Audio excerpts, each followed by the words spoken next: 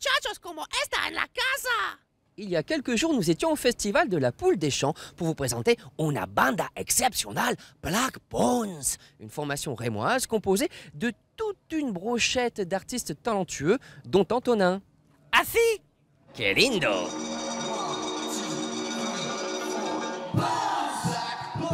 Ça, c'est pour ceux qui n'auraient pas compris le nom du groupe, Black Bones.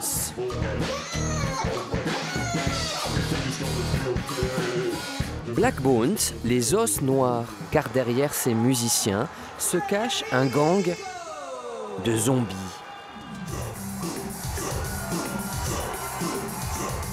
Federico, José, Mariano et Paola.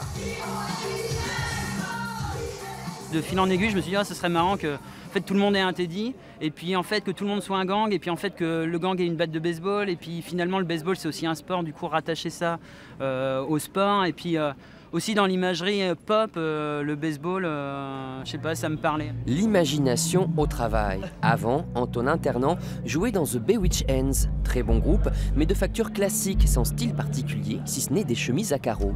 Ok, relève, pince les lèvres. Avec Black Bones, Antonin a sorti la trousse à maquillage et recruté une équipe ouverte à tous ses délires. Vous obéissez à tous ses désirs? Ouais. On le Si suit- vous- Surtout on le suit quoi. Voilà. Si tu- il te dit danse, tu danses. Bah c'est le cas en fait. Ouais. C'est comme je te dis, j'aurais jamais imaginé ça moi, mais mais finalement je, je prends un plaisir dingue quoi. Sur scène c'est c'est vraiment pour le fun quoi.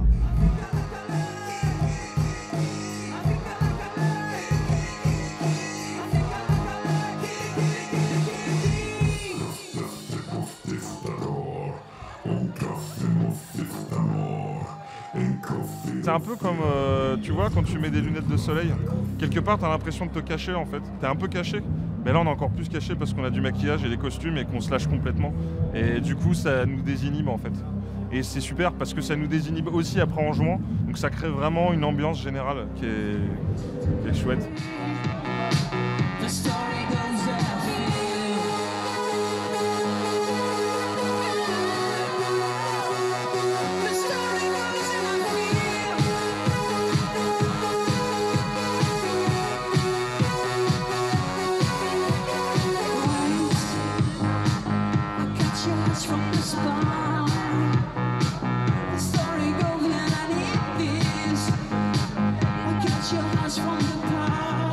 Adore Black Bones de tous les cas, puisqu'on a déjà été voir un concert à la Licorne, plus encore à la cartonnerie.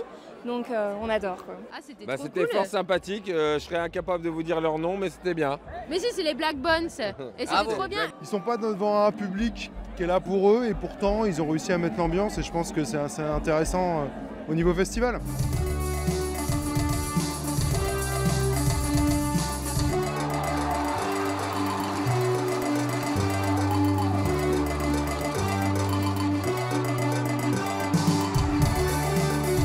Quand j'étais petit, le premier métier que j'ai voulu faire, c'était maquilleur de films d'horreur et j'achetais euh, tous les mad movies. Euh, et, euh, Un magazine spécialisé. Ouais, un, un magazine spécialisé dans le fantastique et l'horreur. Et c'est vrai que c'est le premier truc. euh, et même en étant encore plus petit, je voulais être boucher. Alors, vraiment. et, et alors peut-être que c'est une réminiscence. C'est-à-dire qu'il y a eu ça quand j'étais petit, puis après j'ai eu aussi des études. j'ai fait des études aux beaux-arts, arts plastiques et tout ça. Et en fait, finalement, Blackbone, c'est un peu. euh, ça, remet tout en ordre de tout ce que j'ai vécu et de tout ce, que, qui m'a fait envie étant enfant, adolescent. Donc à la fois c'est le groupe de pop, c'est les films d'horreur. euh, et voilà, et ma mère est prof de danse. Donc euh, en fait tout se recoupe quoi.